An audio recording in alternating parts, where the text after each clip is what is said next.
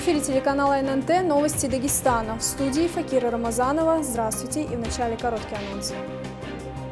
Сим-карты вне закона. Какое наказание грозит гражданам за продажу так называемых левых номеров? Расскажем в начале выпуска.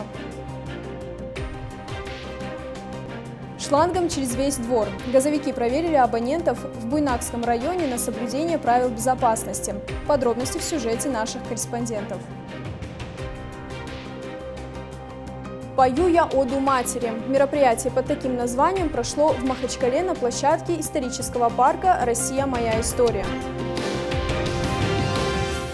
С начала года на территории республики зафиксировано более 160 случаев реализации сим-карт с нарушением норм закона. По всем этим эпизодам составлены административные дела. Об этом сообщает МВД региона. Полицейские проводят постоянные рейды по выявлению всех фактов незаконной продажи мобильных номеров. Как правило, вся эта деятельность осуществляется без надлежащих договоров. Напомним, что за незаконный сбыт сотовых карт предусмотрены наказания. Для граждан штраф от 2 до 5 тысяч рублей. Для должностных лиц от 10 до 50 тысяч. Для юридических лиц от 100 до 200 тысяч рублей. К другим темам. Зима близко, а это значит, что граждане все чаще используют приборы для обогрева помещений. В этот период особенно важно, чтобы все оборудование в доме было в исправном состоянии. Иначе беды не миновать. Специалисты проводят масштабные рейды по проверке техники безопасности. На одном из них побывала и моя коллега Патимат Ханапова. Ей слово.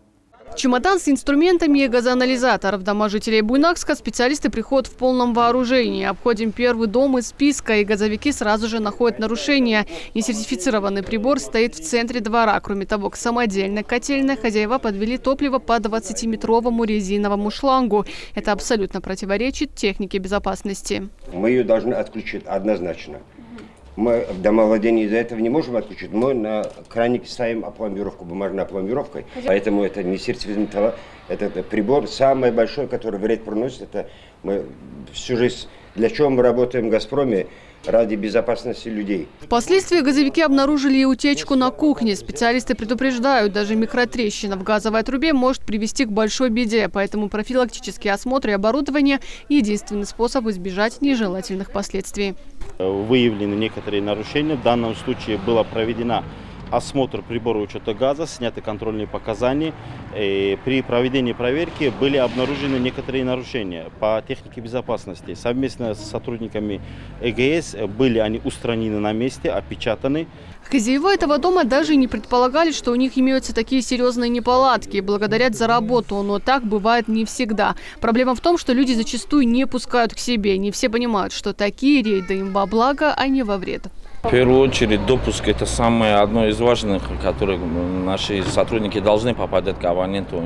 Мы, если газовики приходят, это не значит, что с какими-то плохими целями, а первая задача, чтобы помочь народу, чтобы был безопасный газ и далее велся нормальный учет у абонента.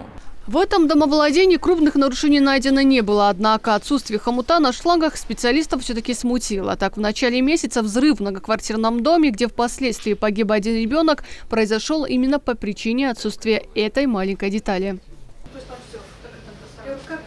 Здесь надо установить хомуты. У вас хомуты отсутствует, короче, у тебя двух местах. Смотрите, раз и два. А, это, без хомутов это недавно, как шланг недавно забыли. Да, у вас есть наличие хомуты? Есть, есть. Сейчас пускай денег-то, я вас очень прошу. Плановые осмотры газовики проводят два раза в год. Перед осенне-зимним периодом уже более 70% домовладений прошли проверку в Буйнакском районе и в городе Буйнакск.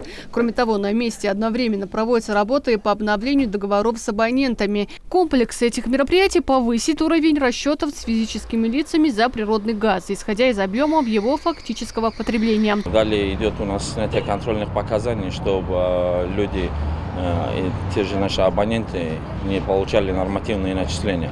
А, ввиду этого очень было, хотел бы обратиться к абонентам, а, чтобы допускали контролеров, так как она сможет помочь им снять нормативное начисление, которое ввиду того, что контролер мог к ним не попадать, она у них образовывается э, в виде нормативного начисления по квадратуре. А чтобы ее снять и реальные показания счетчика занести, абонент, контролер должен попасть и провести инвентаризацию. И на основании этого уже сажается реальное показание счетчика и реальная задолженность абонента. То есть обычно, если по квадратуре, сумма выходит больше? Да, конечно. Патимат Ханапова, Нурмагомед Магометов, Новости ННТ, Буйнакск. В Махачкале продолжаются мероприятия по ремонту городской набережной. Напомним, столичный пляж стал одной из семи локаций, которые были определены в ходе рейтингового голосования по выбору общественных территорий для благоустройства на текущий год. Здесь уже заменено покрытие, установлены объекты уличного освещения и малые архитектурные формы. Мэрией принято решение объединить реконструкцию с ремонтом перехода к пляжу и установкой освещения на Родопском бульваре на участке от Кумыкского театра до улицы Ливаневского. Мы продолжаем мероприятие по комплексному благоустройству городских территорий.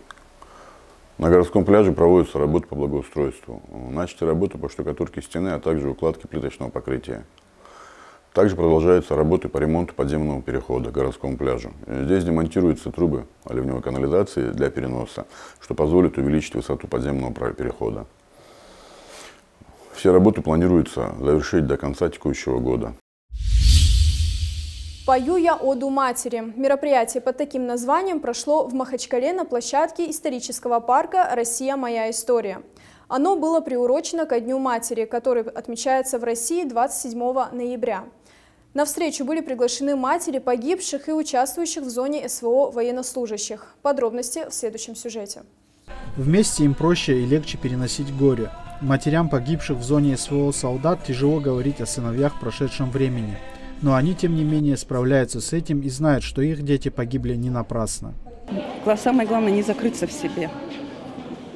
Ну, первое время... Благодаря Сефижат мы реально вот все сплотились и пытаемся всех, кого мы знаем, поставить рядом с собой, поддержать. Если вдруг даже кто нас знает, пусть сами нас находят, мы будем только рады их поддержать. Ну, мы такой, всегда поможем, да. В такой ситуации первое время по-любому ты никого не хочешь видеть.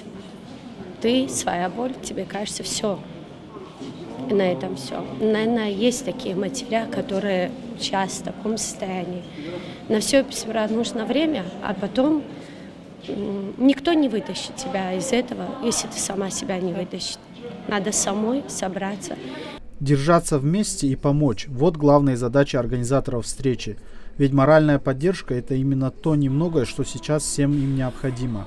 А сегодня в преддверии Дня матери э, мы решили организовать праздник именно для э, матерей героев наших, ребят, которые погибли к сожалению, спецоперации и для семей мобилизованных. Сегодня у нас э, не столько праздничная программа, сколько, наверное, патриотическая. И главная задача, которую мы ставили перед собой, это довести до родителей, до матерей тот факт, что они не одни, что мы с ними, и э, в любой ситуации, в любую минуту мы поможем, чем сможем. Вообще главная задача сказать, что они не одни, мы вместе. Перед собравшимися на сцене с небольшой музыкально-хореографической программой выступили дети. Слова поддержки матерям участников СВО выразили и почетные гости мероприятия.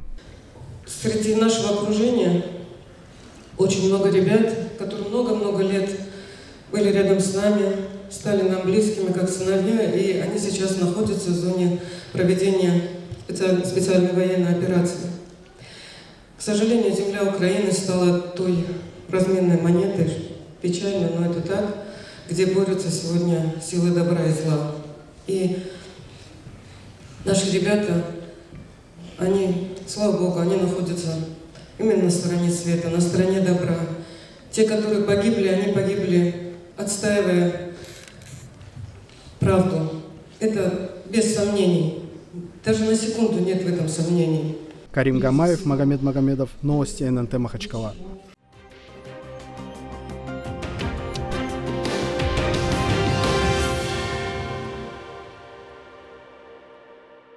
И о спорте. Магомед Анкалаев подерется за титул чемпиона UFC.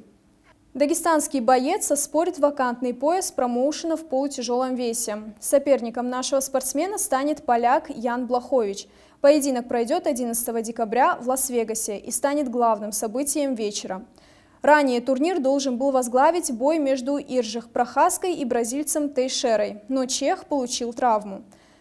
Магомеду Анкалаеву 30 лет. Он одержал в ММА 17 побед и потерпел только одно поражение. В UFC он идет на серии из 9 побед. Это были все новости на сегодня. Смотрите нас также в соцсетях и до следующих встреч в эфире.